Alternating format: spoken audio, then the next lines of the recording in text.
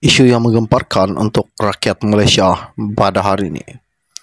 Perdana Menteri Anwar Ibrahim berkata, dia memahami keresahan pihak yang mempersoalkan keputusan kes mahkamah Ahmad Zahid Hamidi, termasuk yang dilemparkan Presiden Muda Syed Saddiq Abdul Rahman.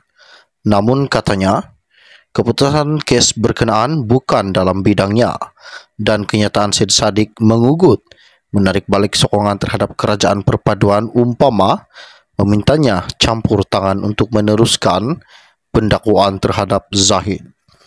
Anwar menegaskan bahawa sejak memegang jawatan sembilan bulan lalu, tidak pernah sekalipun dia campur tangan dalam badan kehakiman.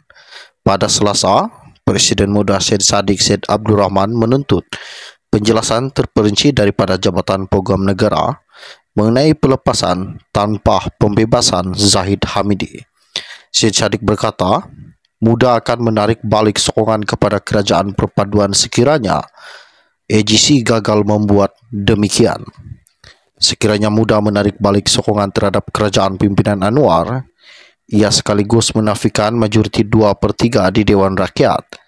Kerajaan pimpinan Anwar berkuasa selepas pilihan raya umum ke-15 dengan sokongan 148 ahli parlimen termasuk Syed Saddiq yang merupakan ahli parlimen Muar.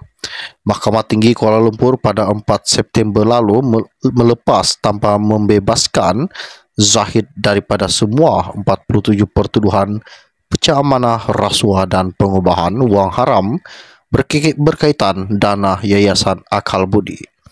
Hakim Colin Rowan Square membuat keputusan itu selepas mendengar 11 alasan timbalan pendakwa raya Muhammad Dusuki Mokhtar untuk menghentikan proseding.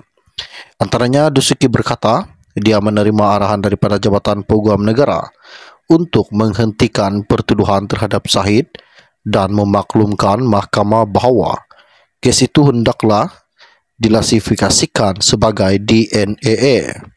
Dusuki antaranya memberitahu mahkamah bahawa Zahid membangkitkan isu yang amat serius dalam surat representasinya antaranya berkenaan dakwaan dia menjadi mangsa pendakwaan terpilih kerajaan sebelum ini. Sekian info ringkas dari saya untuk Anda. Pada hari ini kita akan berjumpa lagi. Salam jumpa dan salam kenal.